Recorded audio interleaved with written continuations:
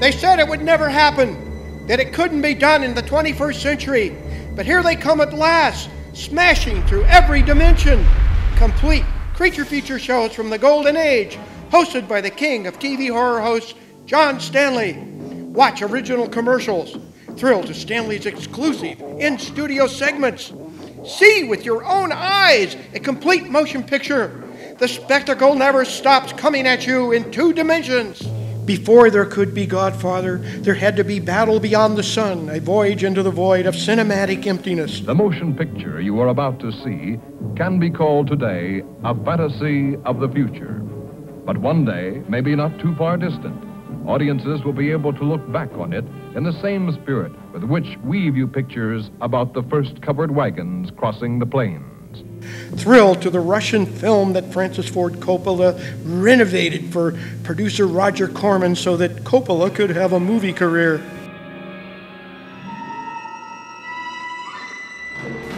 Gasp and utter awe to John Stanley's incredible five part interview with Frank Gorshin, whose miraculous voice impersonates the stars.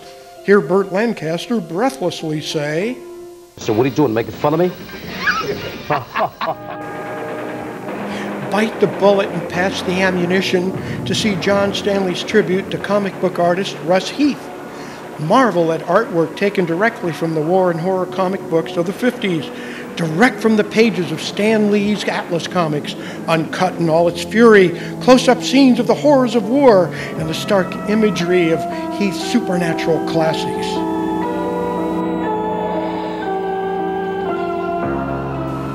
Unleash your brain for Martin Rosen, Bay Area producer of the dog eared classic Watership Down. And thrill to the behind the scenes story about Rosen's second feature, The Plague Dogs, one of the rarest of all animated cartoons. I didn't. I didn't really want to make another animated feature. You'll be hounded to death by the details. Watch mystified as colorful, sad eyed character actor Harry Dean Stanton comes on Creature Features to put down the one movie he'll always be remembered for Alien? Um, I don't know. This is this is a dangerous thing to say on this show, but I've never been a fa- fan of uh, science fiction or space films, really, except for 2001. Mm-hmm. But uh, this director is he was the ace in the hole there. He, Ridley Scott. Yeah. See Horror Express, starring Christopher Lee and Peter Cushing, with Telly Savalas in a startling guest role. Like no other British film from the Hammer era, a revenge-hungry monster attacks the dining car. Definitely not a sleeper. Buy your ticket now and make tracks to see this chiller diller thriller. Your eyes will water over watching Incredible Petrified World with an incredibly petrified cast, with the exception of John Carradine, one time Shakespearean star turned B picture player, who saves all others from Screen Guild oblivion, sinks to new lows. Wave goodbye, for time and tide have never waited for this movie.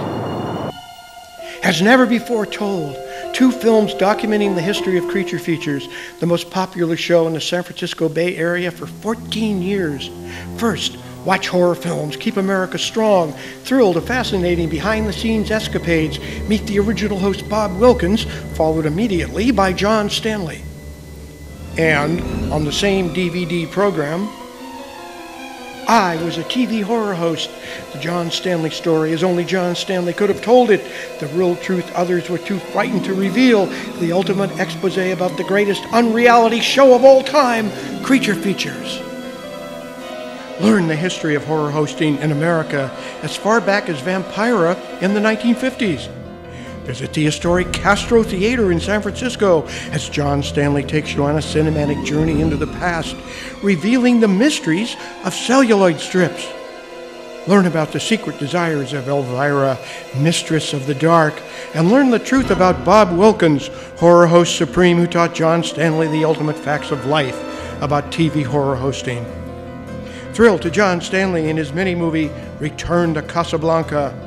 Visit the Psycho House at Universal when he meets Norman Bates face to face. See Stanley ruthlessly pursued by Christine the killer car. See him thrown from the back of a hearse when he interviews the star and director of Phantasm. and visit the Oakland, California TV station where Creature Features once thrived. And now, from the DVD archives of yesteryear, the best of John Stanley, a two hour history of movie trailers.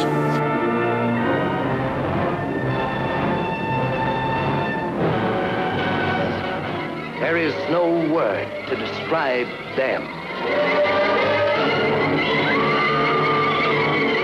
Plus, interviews with Charlton Heston, Star Wars producer Gary Kurtz, Psycho 2 director Richard Franklin. Another incredible DVD Star Trek The Roots of Khan, exclusives with Leonard Nimoy, William Shatner, DeForest Kelley, Ricardo Montalban, a journey across the universe at maximum warp speed that you will not forget. Incredible! It's here at last. The book they said couldn't be done.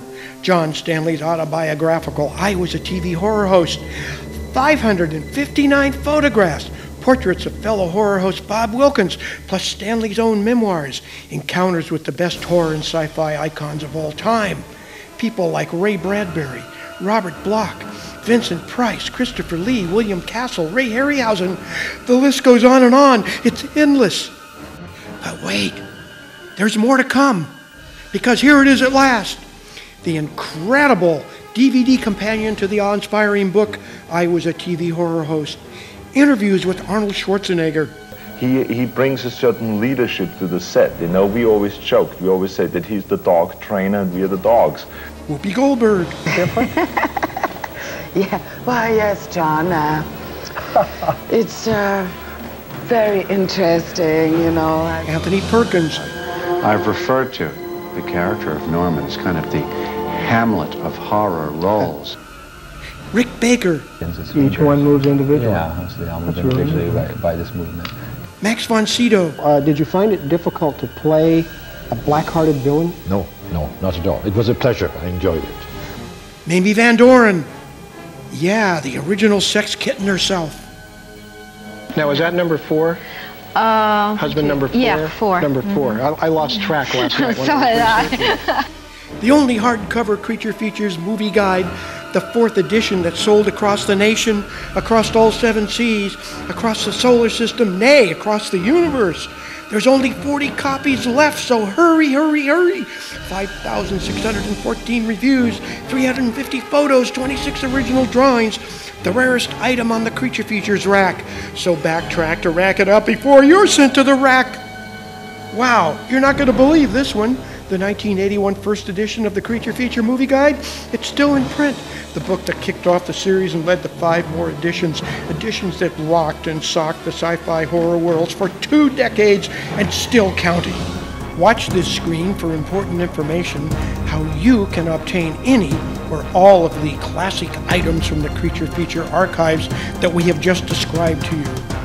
Don't you dare leave the planet without them. Hi, I'm John Stanley. Hey, I want to thank you, fans, for your continued devotion and dedication to the spirit and memory of Creature Features. You know, the show left the air 25 years ago, and here we are, still going strong. Uh, this very featurette shows you how many DVDs and books that we have available for you. And you know, these four new DVDs are just the beginning. We have several other projects uh, lined up for you.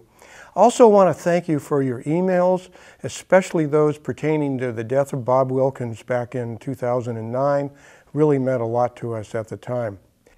And now I want you to meet the trio of terror. First, my cinematographer, my cameraman, my editor, Wayne Hess. The only man who could keep me in sharp focus. And now I would like you to meet our graphic designer, the man who designed the covers for the new DVDs and who's been doing a lot of extra work for us lately, the one and only Bobby Cannon. Welcome, Bobby. Thanks. The third member of the Trio of Terror. He's the greatest creature feature fan of all. He is the official archivist, and he allowed us to come into that archive to photograph for one of our DVDs, the one and only Tom Wersch. Tom, what have you got that's new for me?